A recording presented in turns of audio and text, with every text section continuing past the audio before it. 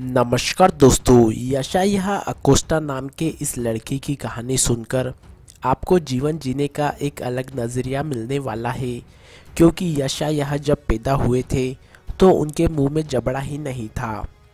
जानकारी के अनुसार अकोस्टा 31 अक्टूबर 1999 को अमेरिका के एरिजोना में पैदा हुए थे। वो समय से दो महीने पहले पैदा हुए थे, ऐसे में डॉक्टर्स ने कहा था कि उनके बचने की संभावना नहीं है। लेकिन उन्होंने डॉक्टर्स की भविष्यवाणी को गलत साबित कर दिया। अकोस्टा की जॉ लाइन नहीं है। इस बीमारी को अगन्याथ्या कहा जाता है। ये बीमारी बहुत ही दुर्लभ होती है। इसमें एक या दोनों ही जबड़े नहीं होते हैं। यहाँ तक कि उनके निचले जबड़े और शासन पथ नहीं है। इसीलिए वो सांस लेने या खाने में सक्षम नहीं है। वो अपने गले में एक श्वास नलिका के माध्यम से सांस लेते हैं और पेट में एक ट्यूब लगी है, जिसके माध्यम से वो खाते हैं।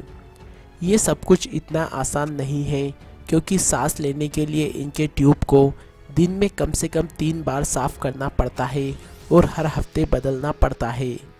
रिपोर्ट के मुताबिक बीते 20 सालों में यशा यहाँ की कई सर्जरी हुई है। इसको लेकर वो ज़्यादातर अस्पताल में ही रहे हैं।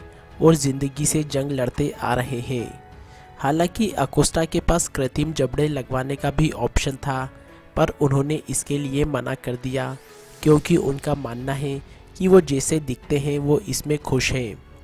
आपको बता दें कि आज अकोस्टा एक रेपर है और वो गाने लिखते हैं और अपने जज्बातों को लोगों तक पहुंचाते हैं।